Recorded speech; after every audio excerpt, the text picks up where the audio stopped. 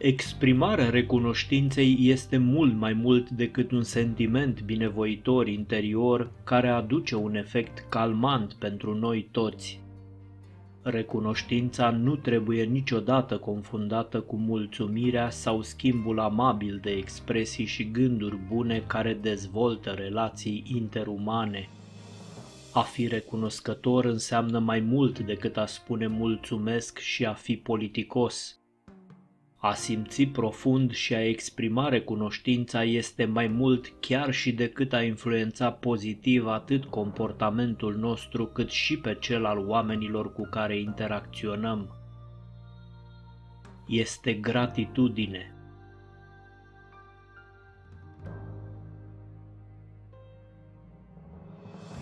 Religiile abordează recunoștința fiecare într-un mod unic însă toate învățăturile spirituale ale lumii spun că trăirea cu un sentiment de recunoștință profundă sau trăirea în gratitudine este o condiție sine qua non pentru a duce o viață bună. Toate religiile au ca numitor comun îndemnul de a simți recunoștință pentru o putere superioară aflată deasupra ființei noastre. Deepak Chopra, lider de renume mondial și doctor în medicină alternativă, face mai multe conexiuni profunde între recunoștință și spiritualitate în activitatea sa. Chopra susține că a fi recunoscător este similar cu a simți o prezență divină deoarece ne permite să recunoaștem valoarea și virtutea lucrurilor din viața noastră în acest sens, gratitudinea, starea de recunoștință perpetuă și profundă, poate fi văzută ca un remediu pentru diferite forme de suferință, afirmă acesta. Oamenii de știință din domeniul psihologiei susțin că recunoștința este asociată puternic și constant cu nivelul ridicat de fericire. Recunoștința îi ajută pe oameni să simtă emoții mai pozitive, să savureze experiențele bune, să-și îmbunătățească sănătatea, să facă față adversității și să construiască relații puternice. Psihologii susțin că ființele umane își exprimă recunoștința în mai multe moduri. Oamenii o aplică în mod special trecutului prin regăsirea amintirilor pozitive și mulțumirea pentru aspecte din copilăria sau binecuvântările trecute și viitorului prin menținerea unei atitudini pline de speranță și optimism.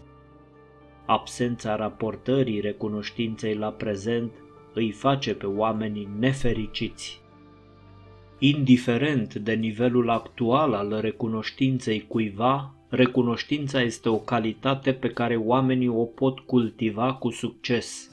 Manifestarea profundă și perpetuă a stării de recunoștință este o abilitate care poate fi învățată și dezvoltată până când gratitudinea va deveni stilul nostru de viață și vom fi cu adevărat fericiți. Rezultatele studiului pe seama recunoștinței efectuat de psihologii americani Robert Imoni și Michael McCullough au concluzionat efecte uimitoare ale recunoștinței.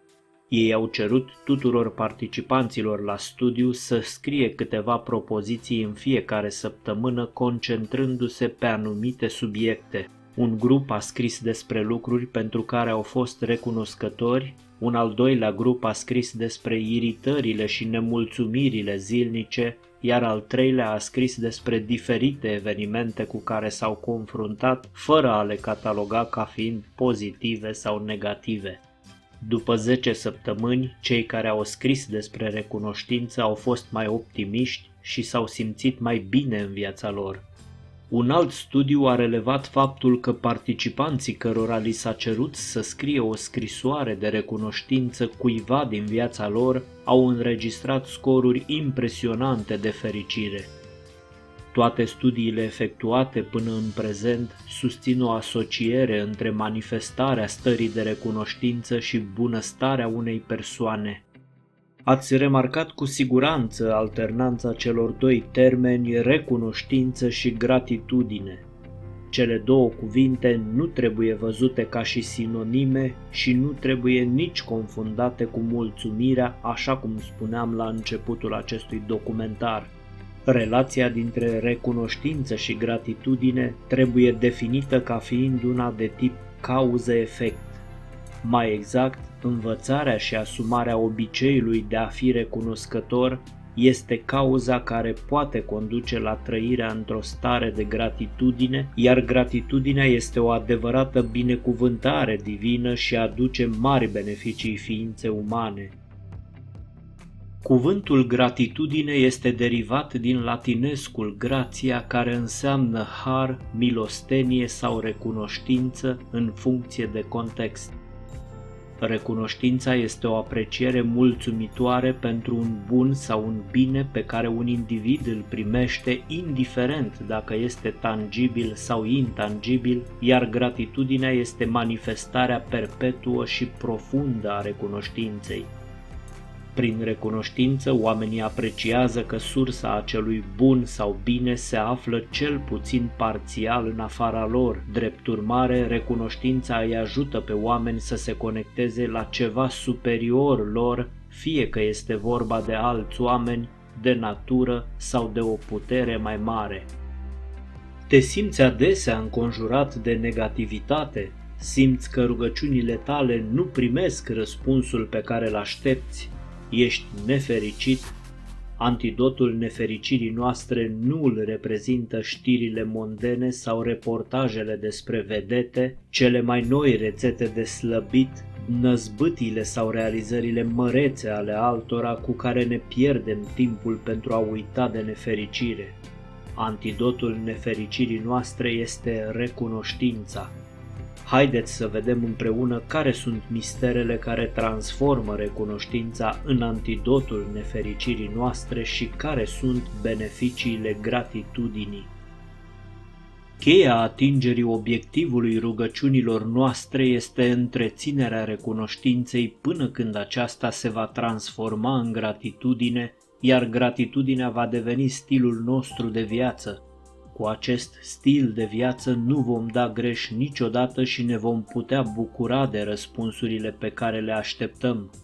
Recunoștința cu cele trei forme ale ei de manifestare, emoția, dispoziția și personalitatea, ne oferă în plan material multe beneficii de sănătate și am să amintesc aici doar câteva dintre acestea. Alungarea emoțiilor negative și creșterea celor pozitive, creșterea stărilor de bucurie, plăcere, fericire, concentrare și optimism, îmbunătățirea calității somnului, întărirea sistemului imunitar și multe altele.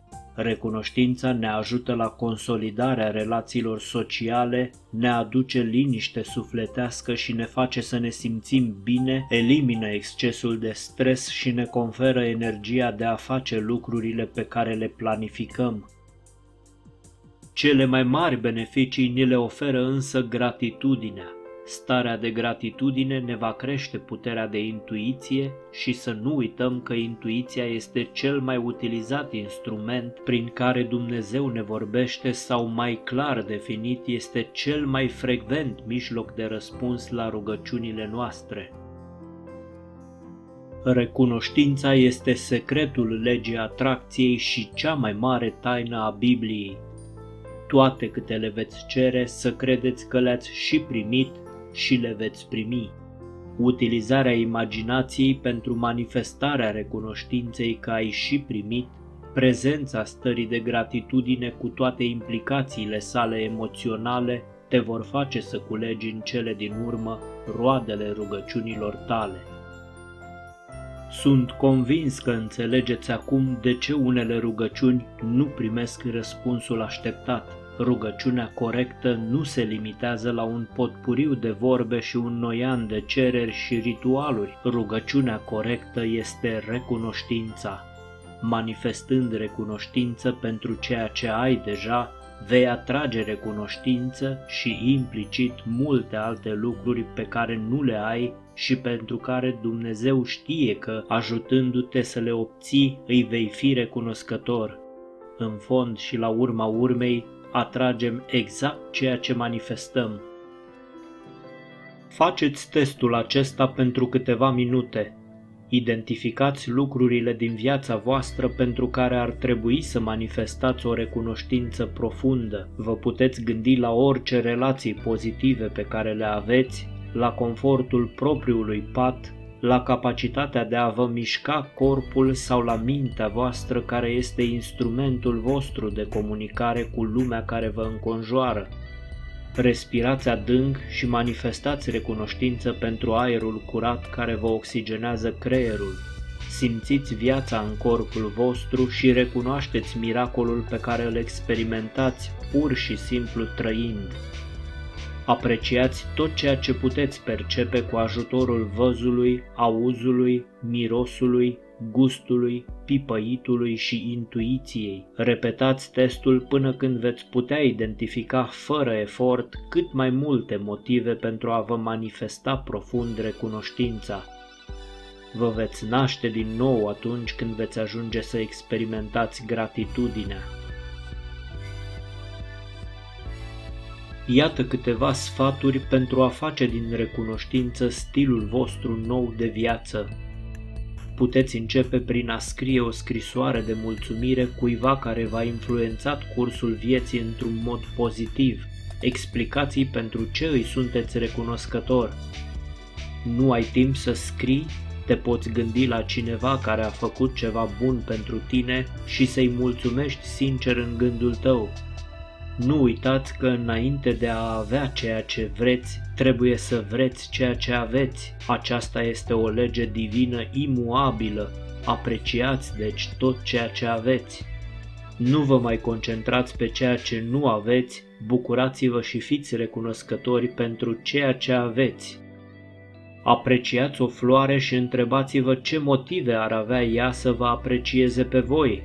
Făcând acest lucru sau alte lucruri similare, tot ceea ce vă va ieși în cale va fi privit ca o experiență veselă. Veți învăța să profitați din toate situațiile cu care vă confruntați, fără a le mai judeca după aparențele lor negative.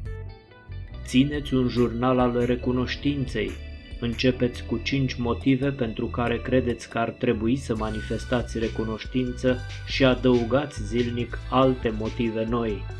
Videoclipul nostru Afirmații pozitive de recunoștință 75 de mulțumesc vă poate servi drept exemplu în identificarea motivelor voastre personale pentru care ați putea să manifestați recunoștință. Încetați așadar să mai fiți nefericiți căutând motivele nefericirii în exteriorul vostru. Fiți recunoscători și exprimați recunoștință pentru tot ceea ce experimentați, indiferent dacă pare bine sau rău. Adevărul ascuns și mai profund este că totul contează. Și nu uitați niciodată că recunoștința este rugăciunea corectă toate celelalte vor veni de la sine.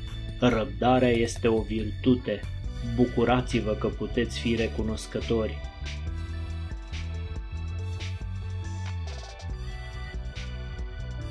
Pe curând și fiți binecuvântați cu cât mai multă gratitudine și energie pozitivă.